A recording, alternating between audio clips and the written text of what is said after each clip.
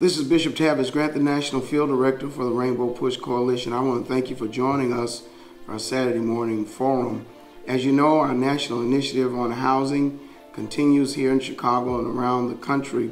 Our residents at the Concordia Place apartments are showing great tenacity and teamwork uh, as they've been engaged with the ownership of Capital Realty to put together an action plan that will address uh, many of the needs that the residents have there as it relates to raising the standard and, uh, of quality of life and providing affordable, livable, sustainable, and enjoyable housing. Along with HUD and Reverend Jackson, this is the kind of initiative that really addresses our, of our attempt uh, to uh, fight poverty and bridge the gap as it relates to uh, wealth and access to capital. So if you're interested in what we're doing, wherever you are around the country, you can see the address at the bottom of the screen, www.rainbowpush.org.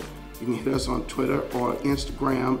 Uh, go to our YouTube channel and subscribe, as well as you can call us here in Chicago, 773-373-3366. Affordable housing is the way of bridging the gap of wealth inequality and access to capital. And together we win. Keep hope alive.